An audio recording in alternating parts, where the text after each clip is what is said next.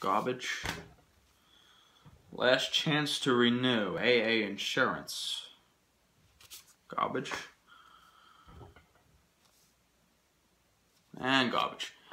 Good afternoon, everybody, and welcome to this week's edition of Sunday Sit Down. Welcome to the program, everybody. Glad to have you with us on this great Sunday. I am Anthony Bove.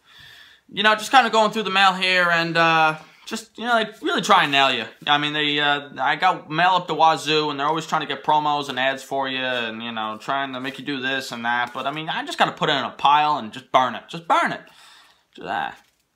Just burn it.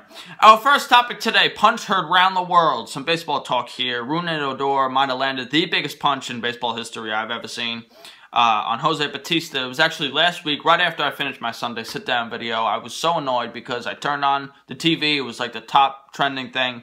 And um, I, I just wish I had it on last week, but I already recorded. So anyway, um, it, I mean, this is this is nothing new. Tensions have been high since last year after Bautista did the bat flip uh, in Toronto. That was like the bat flip uh, heard around the world.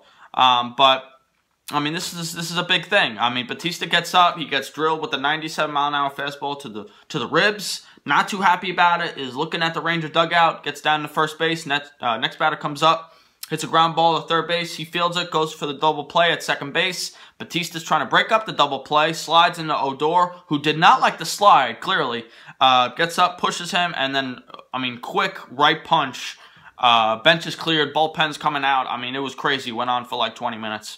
Um, but I mean, this is this is this is pretty big here, um, as well as uh, suspension wise. Lots of suspensions going on, but the biggest one is the eight game for Odor, which is a big loss for the Rangers for a position player. Eight games is is a lot, and he is appealing that. But uh, Bautista got one game, I believe.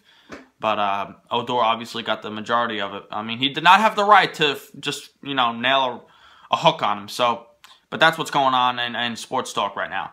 Our second topic today, unfortunate news, Egypt Air has went down in the Mediterranean Sea. They do not know the cause of why this happened. They're thinking it's terrorism, but it could be a possible mechanical issue.